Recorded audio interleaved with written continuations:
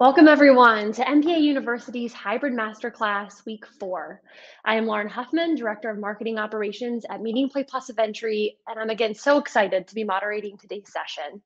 Today, we're going to be chatting about picking the right tech partners and the right partners just in the industry for your hybrid events with Jennifer Kellogg, Vice President of Operations at MeetingPlay Plus Eventry, and Brenda Brody, SVP of Strategy and Client Services at Pine Rock. Prior to joining MeetingPlay, Jennifer led Marriott International corporate meetings and events team for the past 10 years out of their headquarters in Bethesda, Maryland. Other past positions include Director of Events for Marriott's Midwest Regional Office in Chicago, Account Manager at Hargrove Inc. and River West Meeting Associates, and event and operation roles for the Governor of New Jersey, the White House, and several presidential campaigns and inaugurations. An alumni of Boston University, Jennifer is a member of their Career Advisory Network, where she guides current students and recent graduates in their career paths.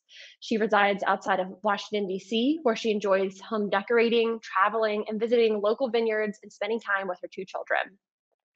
Brenda Brody is an entrepreneur, business executive, performing artist, podcast co host, and an advocate for breast cancer patients.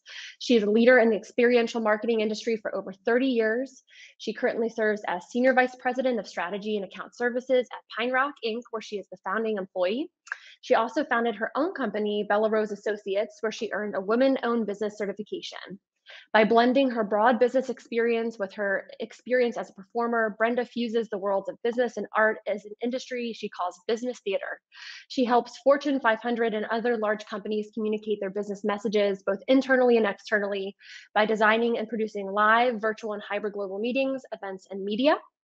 During her career, Brenda has led teams that received multiple industry awards, including the Tellys, the Communicator, and several international film and video awards. She has worked with numerous United States presidents, international stars of stage and screen, and amazing women leaders, including two of her favorites, Maya Angelou and Oprah Winfrey. She is currently co-host of Your Stories Conquer Cancer podcast for conquercancer.org slash ASCO, which is the American Society for Clinical Oncologists. She also mentors recently diagnosed breast cancer patients. In 2009, Brenda was honored as a Women to Watch in Business for JWI, which is the Jewish Women's International. Her education includes a business and master's in arts management and theater from American University. She currently lives in Maryland with her daughter, who attends, who attends Towson University. To kick us off, we're going to be sharing the session poll and ask that everyone take some time to answer the questions as we welcome our speakers. I'm going to put the poll up now just so everyone can take a look. Everyone should be able to see it now. Let me see here. Let me make sure we're good. So then to kick us off, we're going to be bringing in today's amazing speakers. So please, everyone join me in welcoming today's speakers. Hey, Brenda. Hey, Jennifer. Hi. Welcome. Thank you, Lauren, so much. Awesome. Brenda, well, I will um, take it over to you. Oh, go ahead. Sorry, Jennifer. thank you so much, Lauren. I appreciate the introductions, uh, especially of uh, my good partner and friend, Brenda. Um, Brenda, thank you so much for joining me today. I am so delighted to be presenting this session with you. You know, when I think about great strategic partners, you definitely came to mind. We have a long history as partners together. And, you know, some of the aspects that make our partnership so successful are some of what we're going to talk about today. So maybe you can tell us a little bit about how you and I got started working together. Yeah, thanks, Jennifer. When you called me and told me we were going to be talking about hybrid partnerships, I was really excited. One, I think the hybrid space is really a great opportunity for all of us, but especially talking about partnerships. I think when you were at Marriott and you were leading the meetings team, we really, you, me, and both our teams really had amazing success together, but and a lot of fun, a lot of laughs, right? Um, along the way. But and the reason and the reason for that was because you and your executives took the time to build the relationship with us, um, which didn't take long at all, mind you. But you also brought us to the table. You made us feel a, an extension to your team and your full disclosure a lot of times folks don't want to talk about budgets you know they right away and you guys laid everything out and gave us access to the executives and helped us understand the audiences and understand the execs so we could really add value in all areas from creative to production. So I think a lot of uh, the keys to successes are the things that I mentioned. And a huge thing is relationships. And I'm just grateful that we've been able to partner together and mentor each other along the way. So I'm really excited to be here. And it was just as important for us to communicate with you and your team about the event, the attendee profile, what we did in past events, what worked, what didn't work. Um, and really, that helped us get the results that we needed. You heard us, you adjusted, and you quickly became a trusted partner. In fact, I think there was one time when we were on site together, we were in the ballroom rehearsing, and one of our executives had just gotten off stage. There was an issue with his presentation that I noticed right away, and he wasn't happy. You took one look at me across the room and knew something was wrong and immediately addressed it. And I think that's the sign of a true partner. You know, when you can finish each other's thoughts and sentences. Um, in fact, I looked up the definition of partner, and um, it said the um, a person who shares or is associated with another in some action or endeavor. And I think the shares in the endeavor part is really key to what makes a great partnership for me. And you embody that. Thank you. I back at you. I couldn't agree more. So let's jump in and see what we're going to cover today in our agenda. First, Brenda, you're going to talk a little bit about the meeting trends that you're seeing from a production side. Um, and we'll also talk about why partners are more important than ever right now, especially coming out of the global pandemic. We'll also talk about what to consider when selecting a partner and who to consider. So, what types of partners will fit your needs? And then we'll talk lastly about how to best work with your partners. But before we get started, let's take a look at the poll results that we did earlier Okay, so it looks like the majority of you said that less than 25% of your events will be hybrid this year. Um, tie went to the 25 to 50 and 50 to 75 mark. And then the lowest was 75 to 100%. So those are interesting results. Uh, Brenda, why don't you talk to us a little bit about some of the current meeting trends that you're seeing in the hybrid space? Absolutely. So I, I just want to say before I, we talk about the current trends, I want to acknowledge and um, and celebrate the fact that the last two years of virtual meetings have been extraordinary for our industry.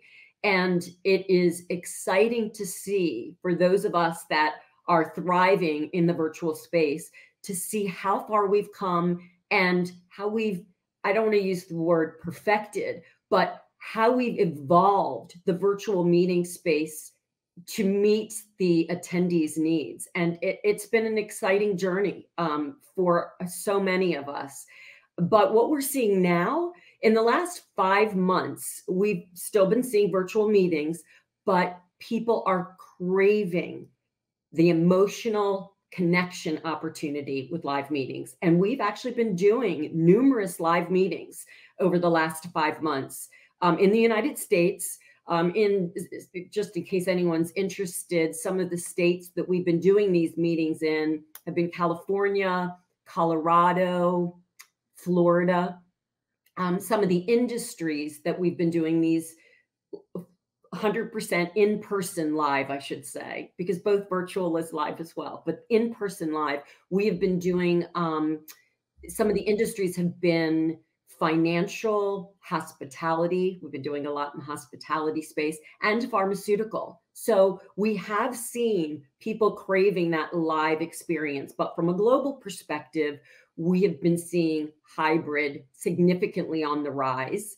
And right now, we're currently working on a meeting that um, that is going to be in in the United States. It's going to be regional. So a, a lot of what we're seeing with hybrid meetings is regionally based meetings. So we're seeing US, they're coming live in person, and then we're streaming it virtually. Then our team's going to be moving this particular event. They'll we'll be flying to Dublin and we'll have a live audience in Dublin and we'll be streaming it as well live. And then they'll be heading to Pune India. And again, that for that region, it will be a true hybrid, having in person and virtual streaming um, as well there. Another meeting that um, we're working on Disney upfronts. We can finally talk about it, which is always exciting, as you know, from MeetingPlay as well. But um, that will be in the United States and it will be a live in person meeting. And we have a significant number of attendees. And then there'll also be a virtual stream for about, uh, you know, probably another. Um, you know three or four times the live in-person audience so that is what we're seeing right now and still as we all know there's still a significant amount of virtual meetings. I was up five this morning. Hope i don't look like it. But i was up we did a global virtual forum for um, one of my favorite biotech clients. And that was an exciting opportunity you know knowing i was coming here today because to see how far this meeting has come, we've been doing it since the beginning of the pandemic. We, what we heard from a um, from the attendees before the meeting was that they wanted no pre-records. Now there were a few, but they wanted the executives to be doing the meeting live. And so, what we ended up, a, a, solution that we had was actually, and the executives did a great job with the meeting, but we also had camera shots of behind the scenes so that the audience members could actually see and know that this was actually happening real time. So, there's lots of things that we're learning in this space. But I think, you know, virtual meetings, as we all know, are here to stay but people are excited to get back live and i think we'll be seeing a lot more regional hybrid meetings on the rise but now what about you what are you all seeing yeah, we interestingly enough are starting to see a bit of that regional approach as well. We just started working with a large customer who's hosting 10 regional events in person uh, mm-hmm. across the country, and MeetingPlay and Eventry is supplying the virtual platform. So it is interesting to see that as we uh, delve more into the hybrid space with clients, uh, the different approaches that they take. And that is one that we are starting to see as well. Mm-hmm. So let's talk a little bit uh, about why partners are more important than ever. You know, so many companies, especially those in the event industry, were severely impacted by COVID 19. Massive layoffs, staffing cuts, uh, both large and small companies letting go key event resources. So, um, and we also saw partners who went under completely, who were exceptional in one area, but couldn't adjust to survive in the new environment. And, you know, frankly, our industry responded almost immediately with at least some virtual options, and more options came into the market throughout the first year of the pandemic. And now there are a large spectrum of options to choose from. So the question is, how do you navigate all of those options? And I think it's really important to find core partners who are best in class with a robust, experienced team and multiple resources. You know, I think we'd all say that the ideal would be to find partners who have experience in the hybrid space, but we've all been living in the virtual world the past two years and hybrid is just now coming around. And a lot of companies are just now learning to shift from virtual to hybrid and navigating those changes. So I think it's possible to find those, but really it's about finding companies with um, expertise. And, you know, MeetingPlay and Eventry, we originated in the on-site and mobile app space and then transitioned to virtual. So for us, combining the two was relatively easy. But we also work with a lot of agencies that also have this experience. If uh, any of you attended last week's session, you heard from Type A events, and they are a great partner to us and truly understand the hybrid space. So, as the pandemic starts to slow down, we hope, mm. and businesses start to grow their teams again, uh, there are a number of factors to consider when choosing partners. Brenda, do you want to start us off with what to consider? Sure. So, what to consider for a hybrid meeting? Um, expertise. Does your partner have the expertise in hybrid. And when we say this, um, I want to echo what Jennifer said. We are all coming into this from uh, you know two years of virtual meetings, but it is important. Does your partner understand the live meeting experience and the virtual meeting experience?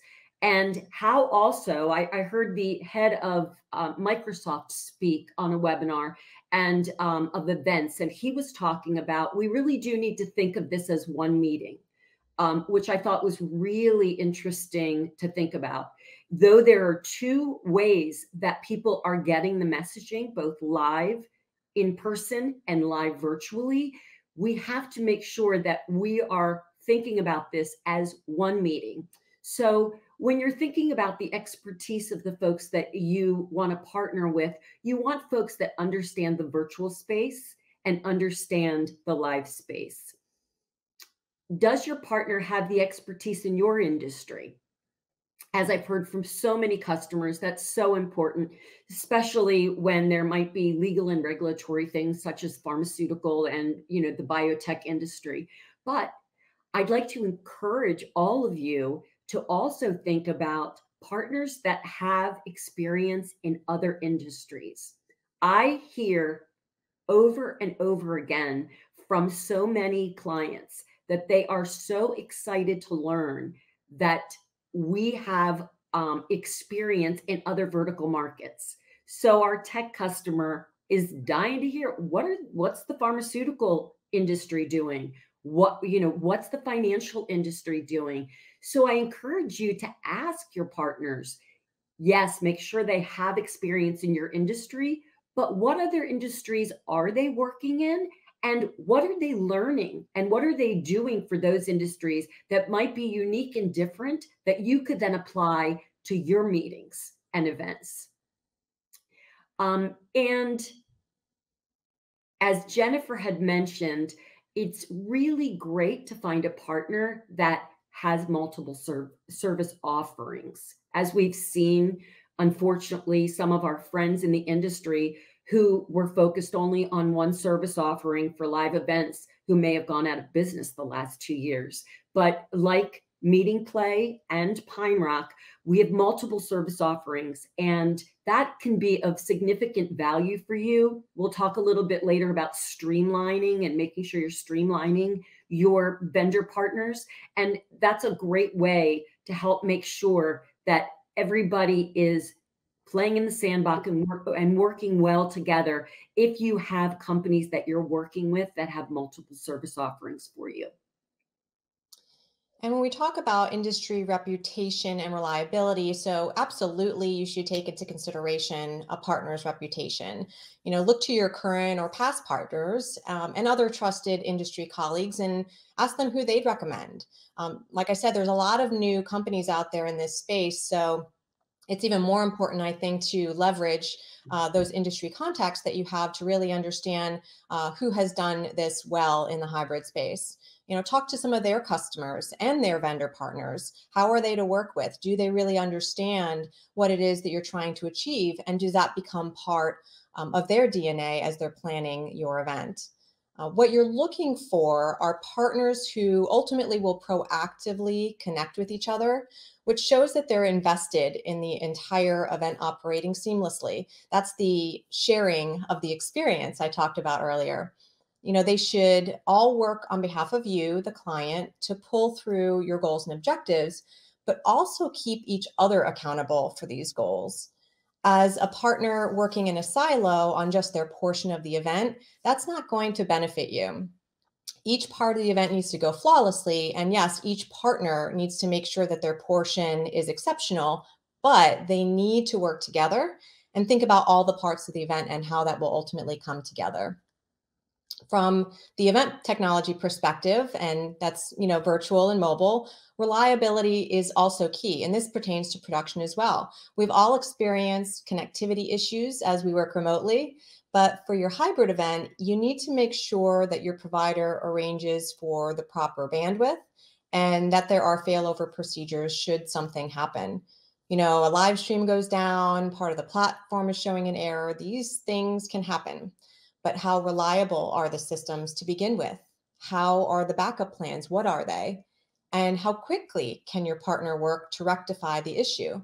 These are all conversations you should be having with your partners. What about strategy and approach? For strategy and approach, um, what to consider for your partner, I'll talk about in a second. But something that's Jennifer and I were talking earlier, something that's really important for your partners is for you all to have thought through what your objectives are, what your key messages are, um, so your goals and objectives for your meeting, who your audience is. So that way, when you bring your partners on, you're bringing to the table right off the bat some key strategic things that we, MeetingPlay and Pine Rock, need to know in order to help you. So that's something we recommend that you all have an internal meeting before you start even talking to your partners. But then once you establish that, bring us in and and look for partners that can help you with strategy and messaging. Um, there's a wonderful tool we use called message mapping that we can help you bring your messages to life and it's a great exercise to to, to do in a strategic creative meeting so um, so then we can help you think through the attendee journey from before the meeting during the meeting and after the meeting and the engagement that comes along with that that's appropriate for it jennifer do you want to talk from the event uh, tech perspective yeah, I think really the same thing goes for us. Um, you know, we have clients that that come to us without some of those pre-planning elements determined, and it just make it more challenging for us to uh, really understand their event to make the best recommendations. So we always recommend that once you've established those core elements that define the attendee journey, then we can provide guidance on what event technology you should use, how they pull together for the overall event and even what features we can use for whether it's networking, engagement, gamification, um, some of those other key elements that might pull together the overall event and be able to connect both the in person and virtual audiences. And then we all work together. Um, your partners should work in tandem together, um, such as MeetingPlay and Pine Rock, to make sure, as Jennifer was saying, this message is pulled through, but the look and feel as well is pulled through from the virtual platform through to the live, you know, even through to the set, so that the live set it is um, is mirroring the virtual set. So th- it's a great opportunity when you have these strategy and creative sessions that you pull together your entire team, such as the folks um, like we that Jennifer and I work with. And then teams and resources for hybrid meetings. It's really important for your teams to have robust skill sets in both the live in person and the live virtual um, as far as creative strategy media there's uh, Uh, our media our in-house media department has been working overtime during virtual with pre-records and all kinds of video production and graphics. So that's a really important element as well as technology, both for audiovisual in person as well as on the event tech side. And I think it's really important, Brenda, to really take a sort of a self assessment of your team and understand what gaps you may need to fill, right? I mean, if yeah. you have a robust internal team, you have planners, maybe you have video producers and graphic designers, maybe a DIY do it yourself solution might be a better option for you. But if your internal resources are limited, you really need to look for something more full service that has project managers to help execute the work, client service managers, things of that nature to really um, help your team uh, take the event to the finish line. You also may be a company that has many small events and one large event. So you may need both options when you really uh, look at it and consider consider all factors. So look for a, a company also that can scale between a DIY and a full service model. That's a great point, and that brings us to the to the next slide and who to consider. Um, so things to consider are your agency partners and there's a lot of different types of agencies that play in this space. um, that can supplement your internal folks. There's communications agencies, there's branding agencies, all that we're working with on these meetings in some form. PR and ad agencies sometimes get involved with with all of us, and then there are the experiential marketing and production partners that are more full service. Um, oh, and I forgot the audio visual partners as well. That's a really important component. Um, but but you're so it's up to you what you need um, and we can also help you you can reach out to your your partners to help assess what do you need to supplement as jennifer said but for the full service companies like the pine rocks we can help you in all areas from content and message design to production um, as well as the audio visual on site and when working with a full service agency um, there are some things that you should expect to have um, a core team. And that's really important. Um, I hear constantly from clients that have worked with other companies that don't have a core team in place that's on all the calls and meeting with them um, that they haven't had the success rate that they need. And so, who that core team is from a production perspective would be a really strong strategic account manager to work with you. And that person represents you also behind the scenes, understands your business, understands your key executives, has relationships with them, and understands what you need from a team perspective, and is working with another core player, which is your executive producer. And as well as your creative strategist and your media producer. And those are are core team members that you will be working with you know it could be bi bi-monthly and then you start working weekly together. Uh, but also feel confident and and i hope you do with the partner you choose. If there's a team member that's just not working out pick up the phone and call your account manager and let them know because sometimes folks just don't work well together and that's okay. And that's okay to let people know because sometimes it's an individual, it's not a company. And I that was a lesson for me too, working with some of our vendors. And it was a great lesson to learn because when you speak up, sometimes you just need to change a person in a position. So we usually we don't like to talk about the negatives, but I think that's important um, because you should have the relationship and an open, honest um, communication with your partners and you should feel confident in that. Some other roles that are behind the scenes for those that may be interested that um, you know may not have worked a lot with a full service agency before uh, the set designer as we mentioned. Also another important role for hybrid meetings is your technical director and actually sometimes we use two technical directors one for the in person the the ballroom and the breakout sessions and one that's streaming and and working with the folks in the studio that's streaming to your virtual platform such as MeetingPlay.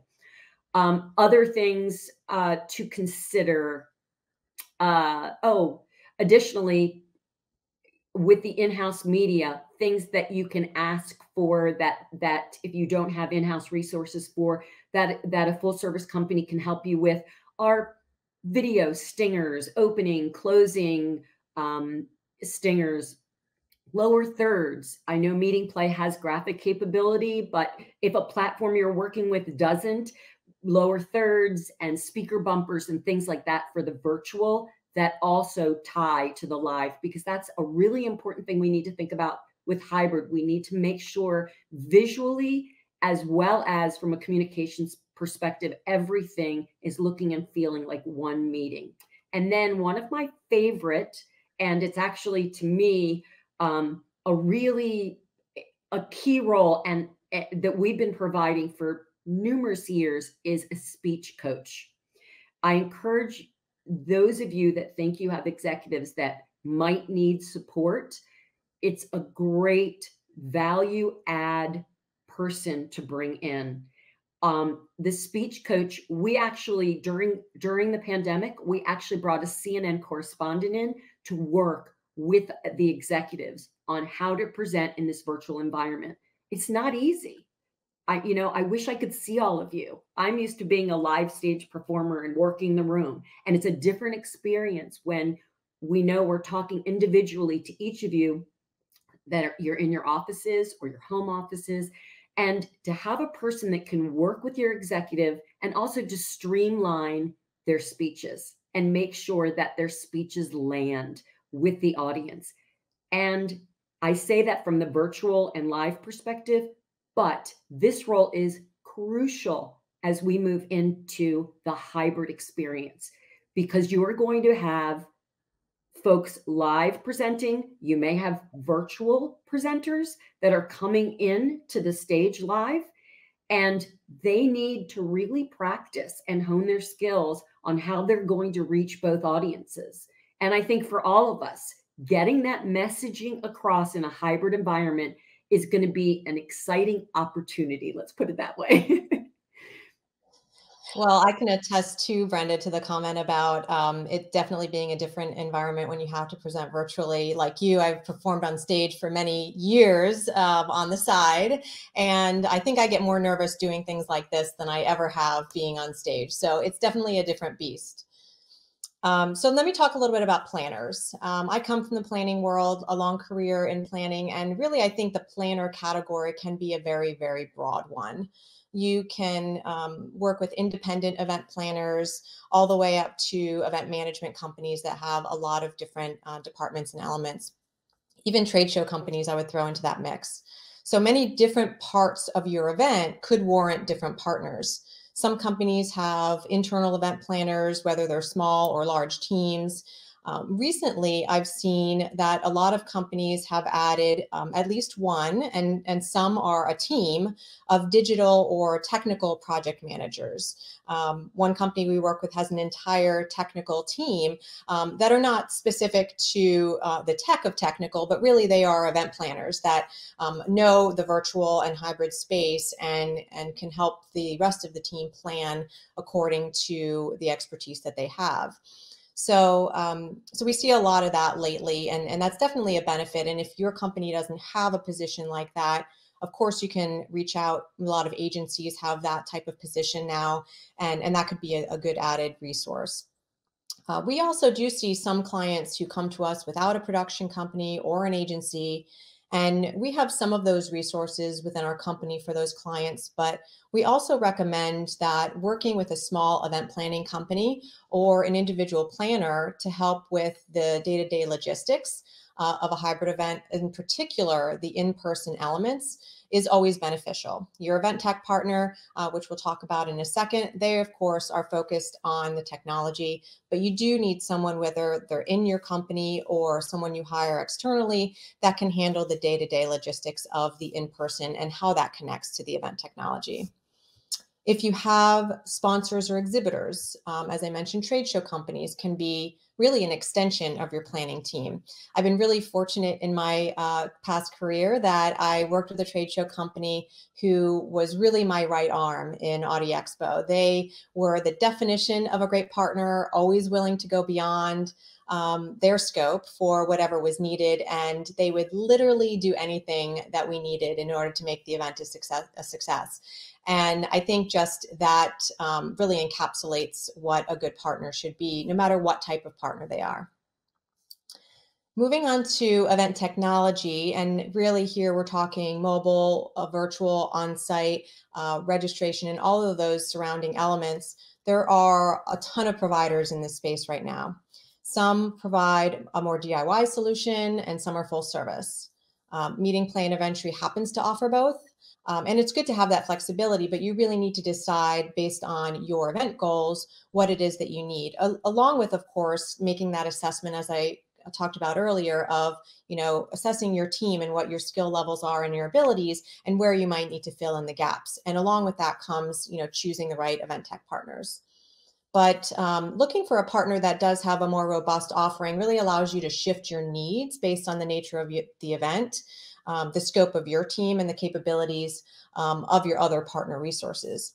So, looking for a partner that can um, adjust from I'll say a tier three to a tier one, if you need that, is really crucial. And some of the things that a full service event tech provider can provide for you are everything from call for papers to registration, the virtual mobile on site check in piece, badge printing, session scanning, lead retrieval, even thinking about remote and on site technical support is really important when it comes to the event technology side. I will say the more partners you have to pull in for these elements, the harder it is to successfully manage all of your partners, especially when you consider it's not just event tech, it's your production, your agency, all of your in person planners. So, really trying to look for more more partners that can provide um, sort of a 360 uh, approach is a really good option. Um, also think about whether a partner's current offerings satisfy your needs or if you need a more customized approach. That's um, really key to looking at different event tech partners and determining what would best fit your needs. Are they constantly innovating and offering new products? Do they have resources that can ideate with you to offer something fresh and new? Um, and how can they help you connect the virtual with the in-person attendees? You know from a planner perspective i know year to year you want to be able to offer something new at your events so look for someone that can help you provide some new elements that fit your needs if you're working with any third parties that may need to integrate with your event tech provider, make sure that they have a dedicated contact who can interface with the event tech team. And that's really just to make sure that their tools and solutions can integrate really smoothly into the platform. Um, lastly, think about a graphic design option and you know what graphic design you may need to integrate into your event. Do you have a graphic designer on your internal team? Do you have one externally? If not, your event tech provider may have one who you can work with to develop the platform graphics, and they would know, of course, all of the particular specifications for the platform that would be needed. And moving on to hotel and event venue, when we're talking about hybrid, of course, we need to have a conversation about your event venue. So you want to look for a hotel or an event venue who candidly is willing to be flexible with the contract terms. I think most of them have learned to be flexible in the COVID environment, and you should use that to your to, to your advantage to negotiate with them to see if they'll allow you to increase or decrease the in-person portion of the event should things shift or change about the current health protocols, for example. Um, they should be able to allow certain intervals of the planning process to look at those elements, F&B, space rental, guest rooms, to see if you might be able to make those adjustments uh, prior to a certain cutoff date. They should also be flexible to allow you to work with multiple external event partners. Um, I know that's not always easy. Some venues have specific partners that they require you work with, but again, I would say in this environment that they um, definitely want your business. So um, look for the partner and the venue that will be flexible with you to uh, work with the partners that you want to bring in. That's great. And also your local event partners, uh, really important um, for all of us right now, um, with some folks um, being lean on staffing. And so reach out to your destination management company in the city. They could be helping with party planners for some of your events um, that you'll be doing locally, as well as your convention and visitors bureau. They are a wealth of information. And especially right now, as we want to make sure we understand from city to city, state to state, country to country, what the COVID protocols are so lean on your local event partners and don't forget about them. They're a great resource.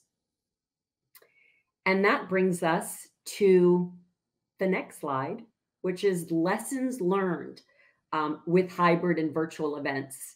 And we're still learning. All of us are still learning together, but we've come so far in the last two years. For those of us, you know, most of us had done a portion before uh, before the pandemic of virtual, but the last two years have been incredible, the lessons we have learned. And now in the hybrid space, for those of us that have done some hybrid meetings now and are honing that craft, I think we're all going to continue to learn together. Um, but you want you want a company that understands how to support you in that way. And for you all, plan smarter. This is, though we want to talk about this being one meeting, it's two different experiences that that we're all creating together for two different audiences on how they're viewing this one meeting. So leave time. Make sure that there's enough time. We know the executives you might not get um, until last minute, and that's just typical, and we understand that. But get your teams together, get your vendor partners together early so that way we can have the time to plan all the logistics as well as the content and message um, for a hybrid meeting which is it's more there are more nuances and more work to be done for both audiences. Don't overproduce. That's something we have learned in virtual. We are all zoomed teamed everything out. I don't know about you but i definitely I, since i'm not traveling anywhere I have been sitting at my desk from morning till night, back to back meetings. We're all tired and we're all craving in person meetings. But for virtual and hybrid, as well as live, don't overproduce them. I know everyone wants to know what's the latest technology. We need to know so we can showcase it. And there's great technology out there AR, VR, and for live meetings, there's um, projection mapping, gamification. There's so much that we, your team, the folks at MeetingPlay and Pine Rock and other vendor partners of yours can help you come up with. But everybody wants to authentically, emotionally connect. We, we're dying for those smaller experiences. So let's go back to basics and make sure that we're thinking through the messaging and the audience and what we need to deliver to them to get the results that you need. And then we'll decide what technology is best. I just highly recommend you don't pick tech for tech's sake. Um, three, networking is king. That's all we've been hearing lately. Everyone is trying to find new ways to connect in smaller groups. And the folks that figure out the most authentic ways to do that and the easiest ways to do that, I think will have extraordinarily successful events and high ratings because you want to connect and people want to connect with similar audiences, but they also want to connect with different people for lessons learned as well. And people are having FOMO. Jennifer was was talking about with me earlier machine learning and that people want to know more about what interests others have and what sessions others are attending. They don't want to miss out on something someone else is doing. So um, that's something to think about with networking and know your audience. We talked about keep it short, everybody's tired, but also think about your global audience. And when you think about them, time zones, translations, closed captions, firewalls, um, know the level of engagement that's going to be effective. And you don't have to know that but give your partners the information that we all need to help figure that out. Swag is still something everybody loves, both in person and virtual. Uh, I know Jennifer and I, when she was at Marriott, we would have hours and hours of discussions about swag alone, right, Jennifer? It was unbelievable, but it was how do we find the newest thing that's going to really speak to the audience? Um, also, from the virtual audience, consider a MC because know that they feel disconnected from the live audience that some of them may be having some of them may not. I know there are people that are not interested in going back live but and in person but have an mc guiding them through the journey. That's something you might want to think about. And don't forget the swag boxes the meals um, one of my colleagues, Joe, mentioned everybody uh, on the last meeting he had loved DoorDash gift cards. So think about that. And um, Q&A, gamification, entertainment, all of that um, will come once you're working together and figuring out what's best for your audience. But the key is to know your audience and also to include them. Pre-event surveys, polls like Lauren did earlier for us. That was very interesting to see what you all had to say. Social walls, meetups. These are all things that help you and help us working with you connect with your audience. Choose your partners wisely. Make sure you have the confidence in your partner that you can be blunt and tell them what you need. Build the relationship. Take the time to build a strong relationship and make sure your partners are flexible. Virtual meetings, in person meetings, there's a lot of last minute stuff. I saw it this morning when I was at our biotech client. It, the meeting was pretty much wrapped up, but uh, two executives last minute had a bunch of script changes. No problem. You know, we laughed it off. We all were having fun in the moment. It was no big deal. Make sure that you have partners that are just flexible. We know what you all are going through is stressful make sure you have partners that are making you have fun along the way and laughing through it all. And make sure that your goals are your agency's goals. It's really, really important. And um, Jennifer, do you want to talk about? I loved what you and I had discussed before the meeting about streamlining of your partners. Do you want to talk about the call you had with multiple partners? Yeah, and you know, I think it's really important um, again because as a planner and and as some of you, I know some of your teams um, have um, limited resources, especially over the past couple years.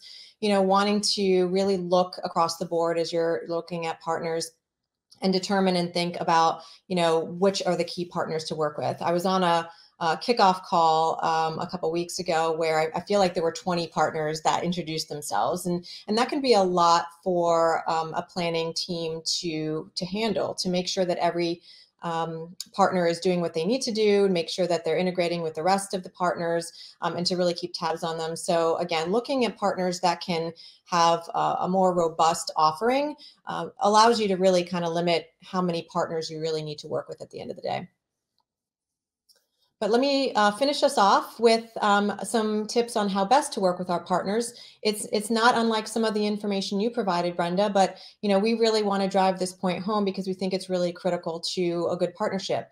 Be transparent with your expectations with your partners. Don't pull back any information and pull them in as an extension of your team. As we said at the very beginning with our story about how Brenda and I started working together, that was the key to our success. It was being completely transparent, offering up any information on both sides, and making sure that we are both moving in the right direction um, as far as the goals and objectives of the conference. Clearly define success and communicate that to your partners. How will success be measured? How do you define success for this particular event? How will you determine your ROI? Uh, the more your partners know about what you define as success, the better equipped they will be to help you achieve it. Brenda talked about knowing your audience. There's this is twofold. You as the client need to understand the audience that's attending your event and doing things like attendee surveys and elements like that but you also have goals perhaps for the event as well. So, what do you want the audience to, to know, think, feel, and do by the end of the event? Those all need to be defined. And then determine the most effective level of engagement. I have seen a number of times where um, a, and a client may not know their audience very well and go real heavy into the networking and gamification angle. But really what the attendees are looking for are, you know, the learning piece. They want to come to the sessions, they want to hear what the, the speakers have to say, and that's their primary goal. So the engagement scores fall very low. So eh, the, the knowing your audience plays into this heavily. Um, but like Brenda said, don't do tech for tech's sake. You know, think through what you need to communicate how you want your attendees to engage with other attendees to enhance their experience, and then determine the best te- technology to use for it. Overall, I think our message today is to find the right partners that you feel confident with, that you can become, that they can become an extension of your team. Uh, they should understand your team, your company, and your goals. Um, you know, we all know how stressful it can be to be an event planner and to plan events, especially now in the hybrid environment. So you should make sure that you have partners who you can trust and ultimately um, have a great partnership and relationship with and just have fun, right, Brenda? Yep, that's our goal. Life is short. So, Lauren, I will turn it back to you to see if we have any questions that we can answer. Hey, that was a wonderful session, ladies, and a very nice way to end it. We had a couple of people say um, in the chat just to have fun.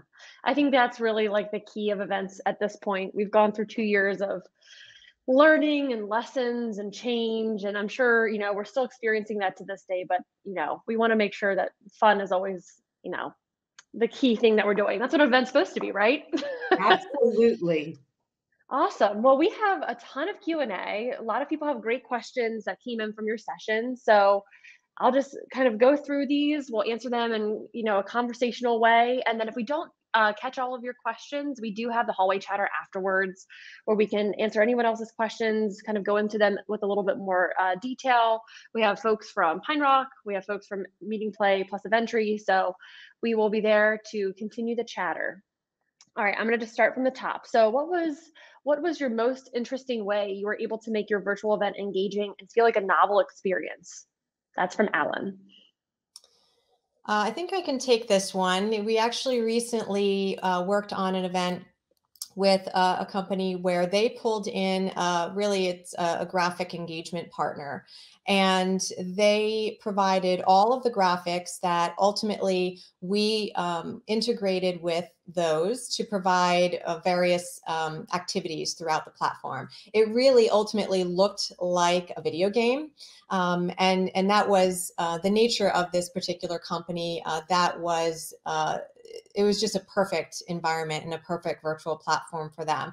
Didn't look like anything else that we typically do. Uh, we've done this event for them uh, two years in a row. And so the partnership, um, we worked with Blueprint Studios on those graphics, and the partnership between Blueprint, the client, and MeetingPlay uh, really worked together so that we had the pre meetings to really understand what the event goals were, uh, to really understand what some of those initial graphics were that were coming to the table, to work through some of the changes along the way, and the client ultimately blessing those to make sure that ultimately the virtual platform and the um, the, the user experience at the end of the day through that platform was the optimal experience for the client. So it was a really unique opportunity to do something completely different in, in the virtual space. And it, it turned out exceptionally well. That's great. Do you find that unique experiences are becoming more common or is it hard to find the the sweet sweet spot between being super unique and really out of the box, but being very effective at the same time. I feel like it's hard to find the right way to do that. I think from what you're talking about, they had, but I'm just curious, what are you seeing now as far as an industry wide standard? You know, I think um, I don't see it so much as, you know, where in-person events, I feel like there was a little bit of competition. You know, you might have had mm-hmm. um, external attendees attending multiple um, different uh, corporate events or, or client events where they're comparing one to the other. Who is the entertainment here versus there? What swag did I get here versus there? And really, I think more now they're really competing against themselves, looking mm-hmm. at what did I do last year and how can I make it better? Or even, as Brenda mentioned, you know, we did so much last year because we felt like we needed to really blow it out of the water. And now that we know a little bit more about virtual and hybrid, maybe we can pull back a little um, and really hone in mm-hmm. on some of the elements that really made the event successful. So uh, it's really more of an internal, um, you know, look at what they've done in the past to, to determine what they're moving forward with in the future.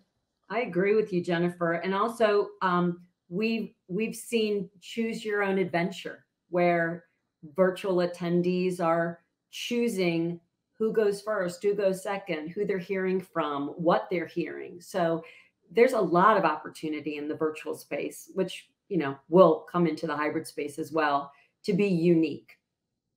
Yeah, I completely agree. So a little bit of a change of pace, but a popular question that people want to hear about is how do you deal with particularly difficult clients from a commu- communication perspective or otherwise? Well, I I'm an account manager. You want me to take that one, um, you know, I have to say, when we say difficult client, I think we talked about relationships. I think it's really important to get to know the person because I think that once you get to know what triggers them, are they really difficult? Are they fear based? They're afraid of something, whatever that something is. But as an account manager, understanding what what that person is afraid of, I think you would find that um, maybe they're not as difficult as you thought. Now, some clients are, you know, very demanding and want short turnarounds and things like that. Um, that's difficult too sometimes because you have to say no, and that's the hardest thing to do. Um, I think for anyone, I've learned through the years, saying no is really challenging, especially to a more challenging client. But when you explain to them why you're saying no, I think they they get it if you have the relationship if it's going to impact the show so i think it's all about we can say that they're, difficult clients um, but i think it's about getting to know the person and getting to know um, what their triggers are and what they're worried most worried about what's keeping them up at night. And then mm-hmm. helping be two steps ahead as we talked about from the beginning with jennifer she wasn't a difficult client don't worry. But, but we'll talk later. No i'm joking. But but it's it's reading the client and, and being two steps ahead and knowing what's needed. So that's that's my take on it. Jennifer do you have thoughts yeah, I mean, I, I would also go back to, um, you know, being a partner, you know, wherever it's coming from, if you're not treating your other partners, whether it's a client and a partner, a partner to client, then, um, you know, that's where you could come across some of that, those issues. Um, if you both go into it knowing that you have the the same goals and objectives you're both going down that path and you treat each other as if you are partners through the process i think that also really makes a difference so that if something should happen that you are not happy with it, it, it defines how you approach it it's not the client uh, contractor relationship. It is a partnership. And you look at it and say, okay, this isn't exactly uh, what I was looking for. What else can we do to get to this goal that I'm trying to reach? And having those conversations, yes, communication is ultimately key. Having those conversations are really important as opposed to assuming something is wrong uh, or assuming a partner has done something wrong and and approaching it that way so i think that's really important to keep in mind as well yeah yeah we have another popular one. Um, how do you approach the budget conversations of hybrid, considering it's essentially supporting a full live event plus a full virtual event? Any tips or tricks of how to speak with key stakeholders on budget? Well, the budget's going to be more.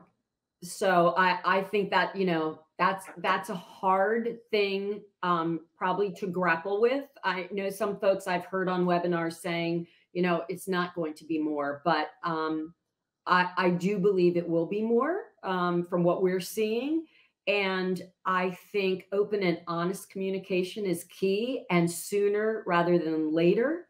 Um, we're seeing budgets of hybrid meetings and virtual backups because folks are getting close to the meeting and for whatever reason, they might have to switch. Um, we are seeing that as well. But I think um, the other portion of what you said about um, broaching the subject. Approaching it with key stakeholders yeah. with key stakeholders. I think honesty is key but you have to show the value and what the value is to the attendees because that's what the key st- stakeholders care about. How is it going to move their objectives their business roi and once they understand that then they can understand the value of the budget that you're presenting to them as well. Yeah, and it goes mm-hmm. back to knowing your audience ultimately, right? So, you know, look at your event budget you know what you may have done for your in-person events uh, pre-pandemic um, doesn't have to be you know the same budget numbers don't have to be in your budget for a hybrid event. Um, i've seen a number that have coming back into the fold and they they again swag is popular right? They go crazy with the swag but i've also seen clients who have significantly pulled back in that area and it's completely understandable by the by the attendees. They understand budget constraints you know were those things nice to have? Of course. Are they a need to have for their experience? No. So you really need to understand some of these different elements and what is most important. Um, because if you can pull back on some areas, then ultimately what you need to spend to activate hybrid um, should should be a wash in some cases if you can really leverage some of those other areas to pull in the, that funding. I'm glad you said that, Jennifer, because that just reminded me of something. What we're also seeing a lot of is those five day meetings that folks might have been doing are now three days. Those three day mm-hmm. meetings mm-hmm. are done in a day and a half, which is also saving significant dollars. Mm-hmm. So that's another another thought um, of how you can look at your budget as well, because uh, it's it's what we're seeing attendees needing and wanting. Mm-hmm. That's fabulous. Well, we have a ton of more questions, but we're out of time for this you know, general session. However, again, we have the hallway chatter. I'm going to bring all these questions over to hallway chatter so that if folks have time, we'll be over there to answer them. Um, if not, we can always kind of move these over to our next session and see if we can answer them then. So join us next week. But thank you both so much for joining us today. Absolutely. Week four, we have two weeks. And Lauren, if anybody has any questions that they don't want to speak of, eh, you know, in this forum, I'm happy to, as I'm sure Jennifer is, I'm happy to chat with anyone. So feel free to give my contact information if someone reaches out. Awesome. That's that's great. Well, thank you guys so much. We'll see you over in hallway chatter. We'll see everyone else um, next week for our session five um, topic, which is marketing your hybrid event and building sponsorships with Brandy Plot and Meg Fazy. So they will be coming on one o'clock Eastern next week on Thursday. And in the meantime, please feel free to share this, come back for on demand if you've missed sessions, um, and we will see you next week. Thank you, Brenda. Thank you, Jennifer. Thank you. Thanks, Brenda. Thanks. Sure.